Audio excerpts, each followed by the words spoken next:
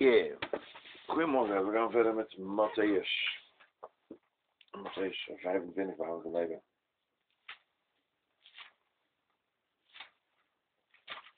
Even kijken.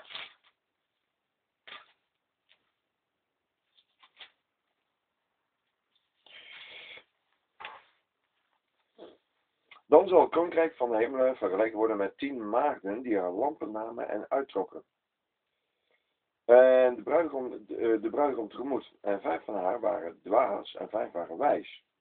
Want de dwazen namen haar lampen mede, maar geen olie. Maar de wijzen namen olie in hun kruiken mee, samen met de lampen. En terwijl de bruidegom uh, wegbleef, um, werden ze alle slaperig en vielen in slaap. En midden in de nacht klonk een geroep. Kijk, de bruidegom gaat hem tegemoet. En uh, toen stonden al die maagden op en brachten hun lampen in orde. Maar de dwaas zei tot de wijze, geef ons van uw olie, want onze lampen gaan uit. Maar de wijzen antwoordden en zeiden, nee, want er mocht dus niet genoeg zijn voor onszelf en voor u. Ga liever naar de verkopers en koop voor uzelf. Maar terwijl zij eh, weggingen om te kopen, kwam de bruidegom. En zij die gereed waren, die klaar waren, gingen met hem de bruiloftszaal binnen. En de deur werd toegesloten. Later kwamen ook de andere maagden en zeiden, Heer, Heer, doe ons open. Maar hij antwoordde en zeide, Voorwaar, ik zeg u, ik ken u niet. Let erop, want u weet niet de dag op welk uur. Want het is als een mens die, met zijn, eh, die bij zijn vertrek naar het buitenland zijn slaven riep en eh, aan hun zijn bezit toevertrouwde. En hij gaf vijf talenten. Hij gaf één vijf talenten. En de ander gaf hij twee talenten. En een derde gaf hij één talent. En ieder met, uh, naar zijn bekwaamheid. En hij reisde naar het buitenland. En direct ging hij, die de vijf talenten had, um, op weg. En hij deed er zaken mee. En hij verdiende vijf bij.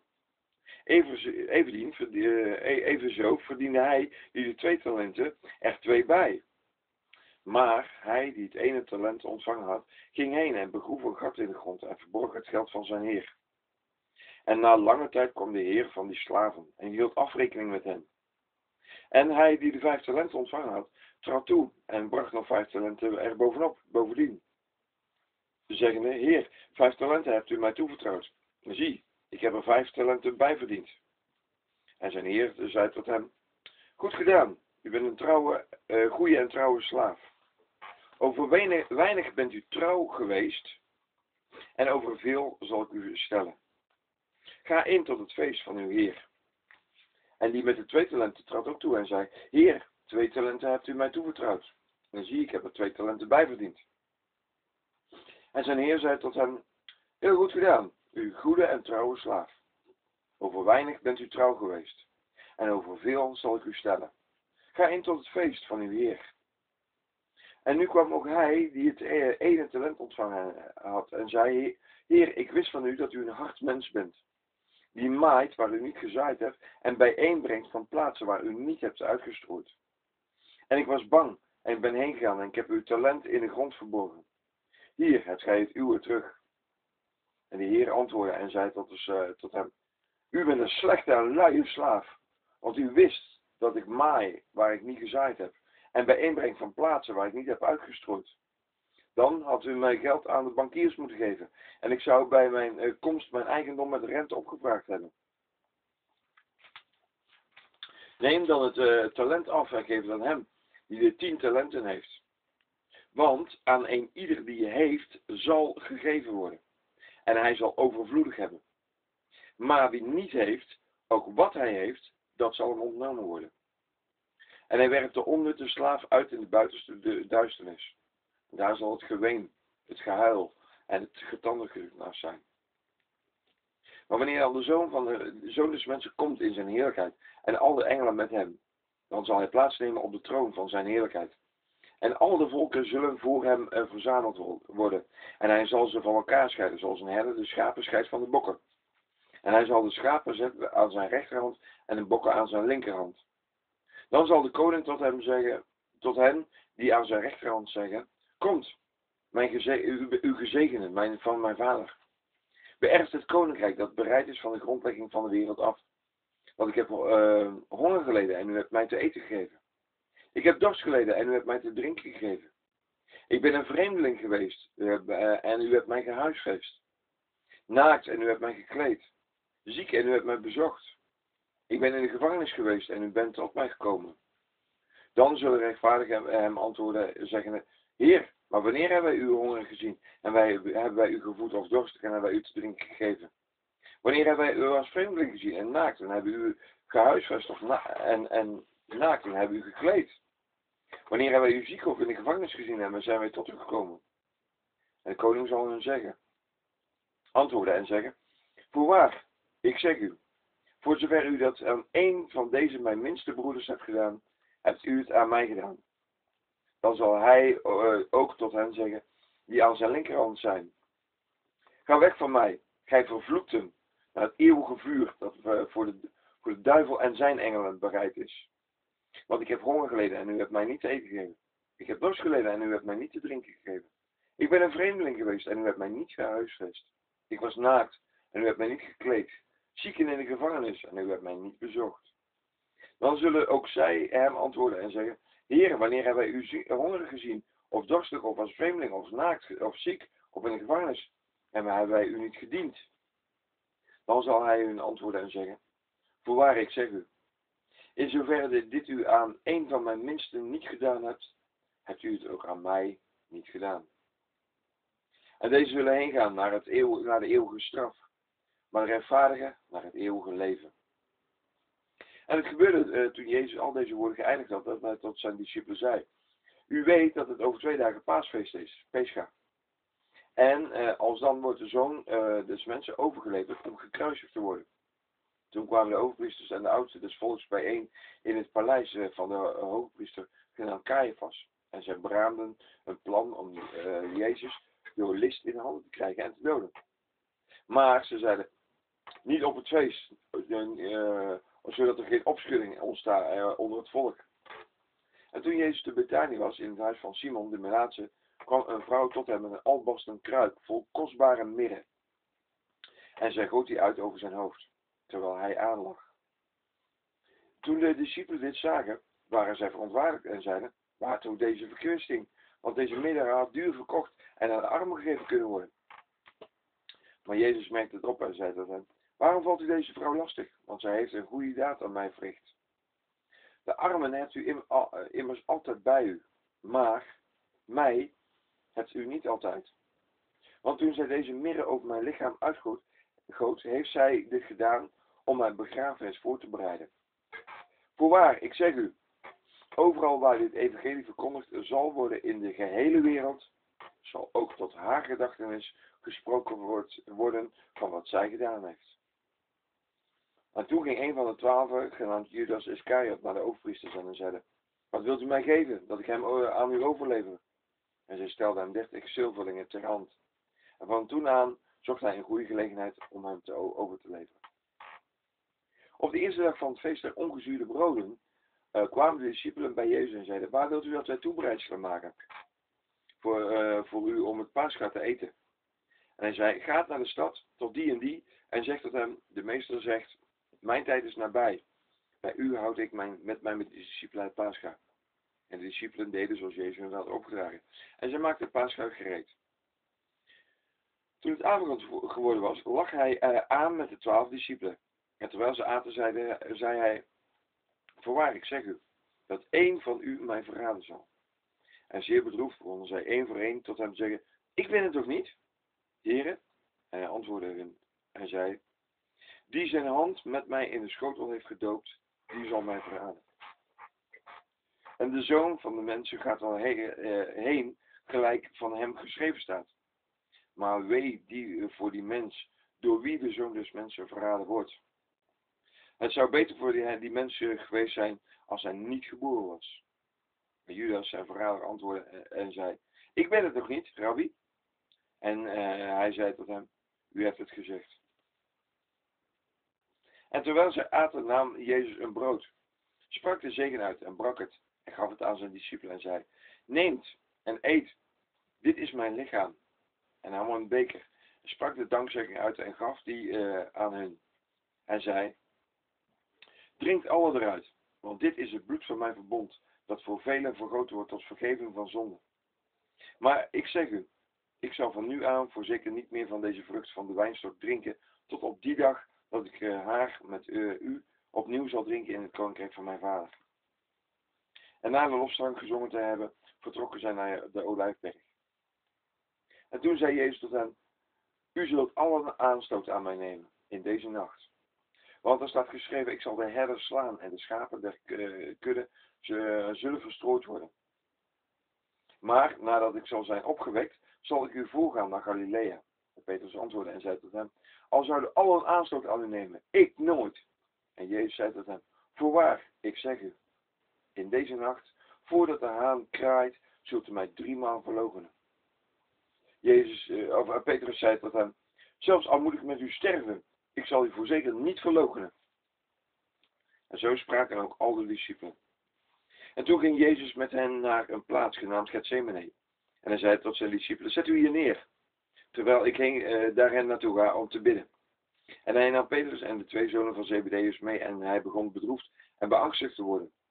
Toen zei hij tot hem, mijn ziel is zeer bedroefd, tot stervens toe.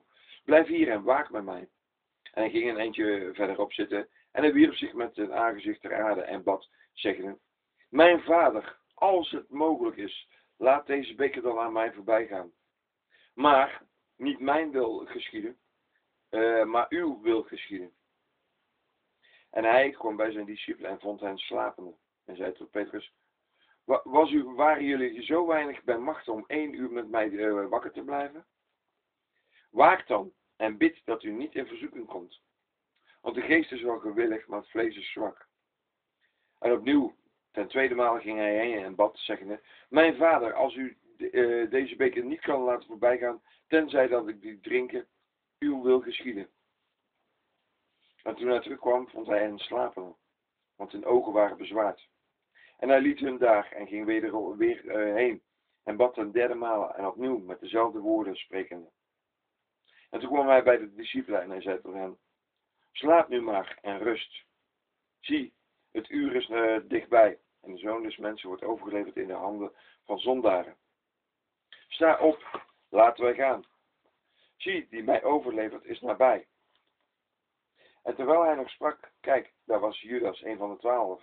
En met hem een grote groep mensen met uh, zwaarden en stokken, uh, vanwege de overpriesters en oudsten des volks. En die hem overleefden, uh, had hun een teken gegeven en zeggen, die ik zal kussen, die is het, grijp hem. En direct trad hij op Jezus toe en zeide, wees je groete rabbi, en hij kuste hem. Maar Jezus zei tot hem, vriend, waartoe bent u hier? En toen traden zij toe en sloegen de handen aan Jezus en grepen hem. En zie, een, een van die bij Jezus uh, waren, strekte zijn hand uit en trok zijn zwaar en hij trof de slaaf van de hoge priester en sloeg hem het oor af. Toen zei Jezus tot hem, breng uw zwaar weer, weer op uw plaats. Want iedereen die naar het zwaard grijpt, zal door het zwaard omkomen. Of denkt u dat ik mijn vader niet kan aanroepen en dat hij mij direct meer dan twaalf uh, legioenen engelen terzijde zou stellen? Hoe zou dan de schrift in vervulling moeten gaan, die zegt dat het op deze manier moet gebeuren? Op dat ogenblik sprak Jezus tot een groep mensen. Als tegen een rover bent u uitgetrokken met zwaarden en stokken om mij te gevangen te nemen. En dagelijks zat ik in de tempel om te leren. Maar u hebt mij niet gegrepen. Maar dit alles is gebeurd zodat de schriften van de profeten in vervulling zouden gaan. Toen lieten alle discipelen hem alleen en vluchten. Hij nu die uh, Jezus gegrepen uh, hadden, zij nu die Jezus gegrepen hadden, leidden hem naar Caiaphas, de hoge priester, bij wie de schriftgeleerden en de oudsten bijeengekomen waren. En Petrus volgde hem van verre, tot aan de hof van de hoge priester. En binnengekomen zijn, uh, zijnde, ging hij tussen de dienaars zitten om de afloop te zien. De overpriesters en de gehele raad trachten een vals getuigenis tegen Jezus te vinden om hem te dood te brengen.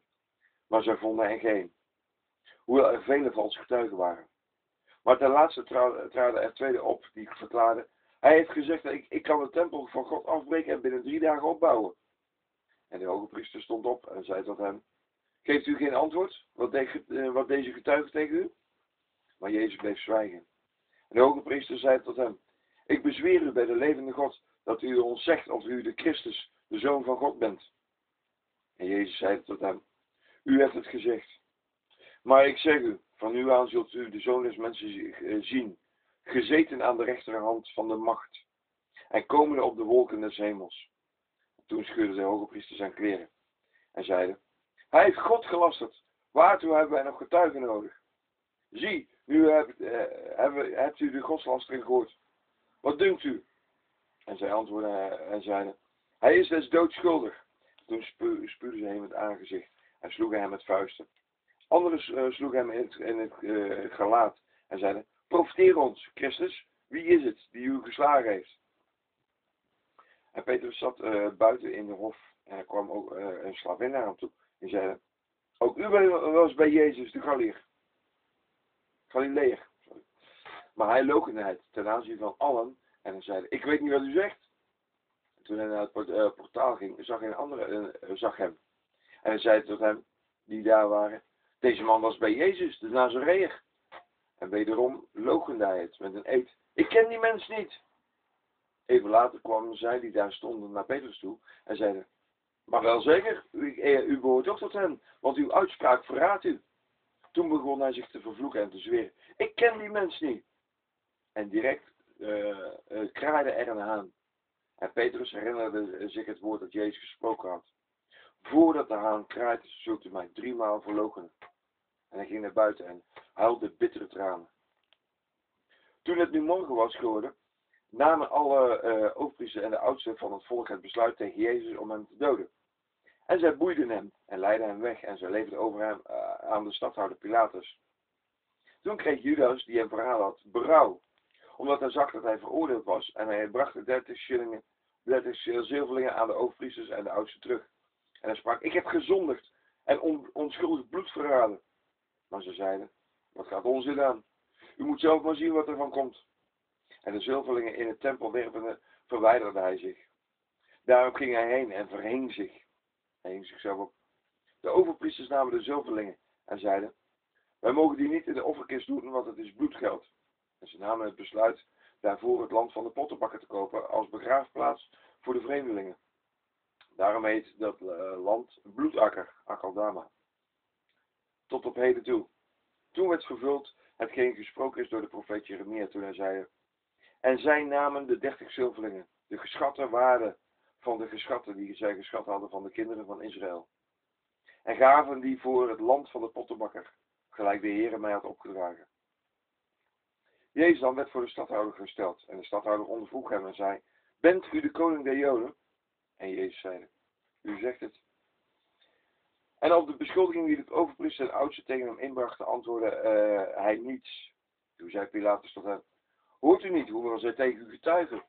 En hij antwoordde hem op geen enkele vraag, zodat de stadhouder zich zeer verwonderde. Nu was de stadhouder bij elk feest uh, gewoon een gevangene ter keuze van de groep mensen los te laten. Hij zag toen een beruchte gevangene, genaamd Bar Abbas. Bar Abbas, zoon van vader. Uh, maar uh, omdat ze nu bijeen waren, zei de Pilatus tot wie wilt u dat ik loslaten laten zal? Barabbas of Jezus, die Christus genoemd wordt? Want hij wist dat zij hem uit nijd hadden overgeleverd. En terwijl hij nu op de rechterstoel zat, zond hij zijn vrouw hem de boodschap. Bemoei u toch niet met die rechtvaardigen, want ik heb, heden een, ik heb vandaag een droom gehad en veel om hem geleden. Maar de overpriesters van de oudsten overreden de, uh, de groep mensen dat zij uh, om Barabbas zouden vragen. Maar Jezus zouden laten te dood brengen. En de stadouder antwoordde en zei tot hem, wie van die twee wilt u dat ik loslaat? En zij uh, zeiden, Barabbas. En Pilatus zei tot hem, maar wat moet ik dan doen met Jezus, die Christus genoemd wordt? Zij, en iedereen zei, hij moet gekruisigd worden. En zei, maar wat heeft hij dan voor kwaad gedaan? En ze schreeuwden des te meer, hij moet gekruisigd worden. En toen Pilatus zag dat het niets baatte, maar dat het e-, eerder een oproer uh, daardoor ontstond, nam hij water en hij waste zich uh, de handen. Ten overstaan van, al de, van alle mensen. En hij zeide, ik ben onschuldig aan zijn bloed. En u moet zelf maar zien wat er van komt. En het volk antwoordde en zeide, zijn bloed komen over ons en over onze kinderen. En toen liet hij een Barabbas los, Maar Jezus geestelde hij en gaf hij over om gekruisigd te worden. Toen namen de soldaten van de stadhouder Jezus mede naar, naar het stadsgebouw, het gerechtsgebouw en riepen de gehele afdeling van hen samen. En ze trokken hem bij zijn, zijn uit en deden hem een scharlaken mantel om. Ook vlochten zij van doornen een kroon en zetten die op zijn hoofd en gaven hem een stok in zijn rechterhand. Toen vielen zij voor hem op de knieën en, en spottenden, eh, zeggende, wees gegroet, uw koning der Joden. En ze spuwden uh, naar hem en namen het, de stok op en sloegen hem ermee op het hoofd. En toen zij hem bespot hadden, trokken zij hem de, een mantel eh, uit en deden hem zijn kleren aan. En ze leidden hem weg om te gekruisigd te worden. Toen zij heen gingen, troffen zij iemand uit Cyrene aan, Simon genaamd. En die uh, presten zij om zijn kruis te dragen. Die dwongen zij om zijn kruis te dragen. En ze kwamen bij een plaats genaamd Golgotha. Dat is de zogenaamde schedelplaats. En ze gaven hem wijn, vermengd met gal, te drinken. En toen hij die proefde, wilde hij niet drinken. Nadat zij hem gekruisigd hadden, verdeelden zij zijn kleren door het lot erover te werpen. En daar uh, neergezeten bewaakten zij hem. En boven zijn hoofd brachten zij op schrift de beschuldiging tegen hem aan. Dit is Jezus, de koning der Joden. En toen werd met hem uh, twee rovers gekruisigd. De een aan zijn rechterzijde, de ander aan zijn linkerzijde. En de voorbijgangers uh, spraken lastertaal tegen hem. En schudden hun hoofd. En zeiden, u die de tempel afbreekt en in drie dagen opbouwt, red u zelf als u Gods zoon zijt en kom van het kruis af. Even, zo bespotten de overpriesters samen met de geschriftsgeleerden en de oudsten en ze zeiden, anderen heeft hij gered, maar zichzelf kan hij niet redden. Hij is Israël koning. Laat hem nu vallen van het kruis afkomen. Dan zullen wij in hem geloven. En hij heeft zijn vertrouwen op God gesteld. Laat die hem nu verlossen. Als hij in welk geval in hem heeft. Want hij heeft gezegd, ik ben Gods zoon. En op dezelfde wijze beschimpte hem ook de rovers die met hem gekruisigd waren. En van het zesde uur af kwam er duisternis over het gehele land tot het negende uur. Omstreeks het negende uur uh, riep Jezus met luide stem zeggen Eli, Eli, lama sabachthani. Dat is, mijn God, mijn God, waarom hebt gij mij verlaten? En sommige van de uh, omstanders die dit hoorden zeiden, hij roept Elia. En direct uh, liep een van hen toe en uh, nam een spons en drinkte die met zure wijn. En stak ze op een stok en gaf hem te drinken. Maar de anderen zeiden, stil, laat ons zien of die Elia komt om hem te redden. En Jezus riep wederom en met luider stem gaf hij de geest. En zie het voorhangsel van de tempel scheurde, van boven tot beneden in tweede. En de aarde beefde en de rotsen scheurden. En de graven gingen open. En vele lichamen van de ontslapen heiligen, van de uh, gestorven heiligen, die werden opgewekt. En ze gingen uit de graven naar zijn opstanding. En kwamen in de heilige uh, stad, waar zij aan vele, veel mensen verschenen. De hoofdman en zij die met Jezus met hem, bewaar, hem met Jezus bewaakten, zagen de aardbeving en wat er plaats vond. En ze werden zeer bevreesd. En ze zeiden, dit was waarlijk Gods zoon. En daar waren vele vrouwen uit de vechten uh, die, die toeschouwden. En die Jezus gevolgd waren uit Galilea. Uh, om hem te dienen. En tot deze woorden Maria van Magdala en Maria, de moeder van Jacobus en Jozef. En de moeder van, van de zonen van Zebedeus. Toen het nu avond geworden was, kwam een rijk man van Arimathea, genaamd Jozef, die eveneens een discipel van Jezus was geworden. En deze ging naar Pilatus en vroeg hem om het lichaam van Jezus. En toen beval Pilatus het hem te geven. En Jozef nam het lichaam en wikkelde het in zuivere linnen. En hij legde het in zijn nieuwe graf, dat hij in de rots had laten uithouden. En na een grote steen voor de ingang van het graf te hebben gewendeld, ging hij weg. En daar waren Maria van Magdala en de andere Maria, gezeten tegenover het graf. En de volgende dag, dat is na de, na de voorbereiding, kwamen de overpriesters en de fariseeën gezamenlijk tot Pilatus en ze zeiden, Heer, wij hebben ons herinnerd dat de verleider bij zijn leven gezegd heeft, na drie dagen word ik opgewekt. Geef daarom het bevel het uh, graf te verzekeren tot de derde dag. Anders konden zijn discipelen hem komen stelen en tot het volk zeggen, hij is opgewekt uit de doden. En de laatste dwaling zou nog erger zijn dan de eerste. Pilatus zei tot hen, hier hebt u een wacht. Ga heen en verzeker het naar uw beste weten. En ze gingen heen en verzekerden het graf met de wacht, naar de steen verzekerd te hebben. Maar laat na de Sabbat, tegen het aanbreken van de eerste dag van de week, ging Maria van Magdala en de andere Maria het graf bekijken. En zie, er kwam een grote aardbeving, want een engel van de Heer daalde uit de hemel neer en kwam nader. En hij wentelde de steen weg en zette zich daarop. En zijn uiterlijk was als de bliksem en zijn kleding wit als sneeuw. En de bewakers werden door vrees eh, voor hem bevangen en werden als doden.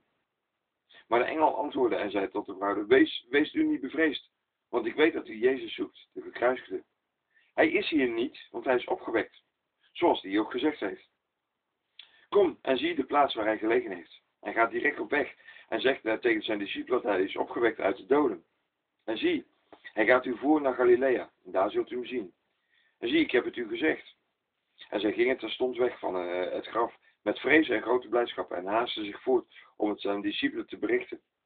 En kijk, Jezus kwam haar tegemoet en zei, wees gegroet.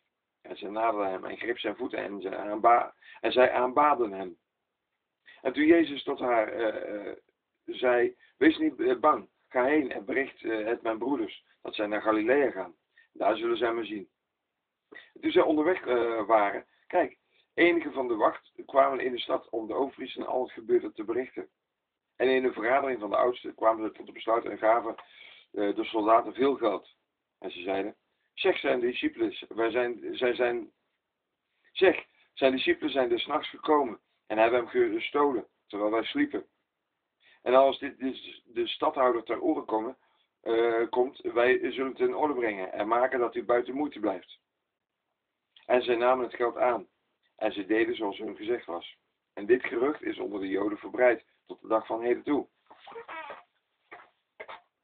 En de elf discipelen uh, vertrokken naar Galilea, naar de berg waar Jezus hen uh, geboden had om naartoe te gaan. En toen hij, zij hem zagen, aanbaden zij. Maar sommigen twijfelden. En Jezus trad nader en sprak tot hen, zeggende, Mij is gegeven alle macht in de hemel en op aarde. Ga dan heen, maak alle volken tot mijn discipelen en doopt hen in de naam des, van de Vader en van de Zoon en van de Heilige Geest. En leer hen te onderhouden wat ik u bevolen heb. En zie, ik ben met u al de dagen en tot aan de voleinding van de wereld toe. Dat was het evangelie van Matthäus. En daar laat ik het even over bij.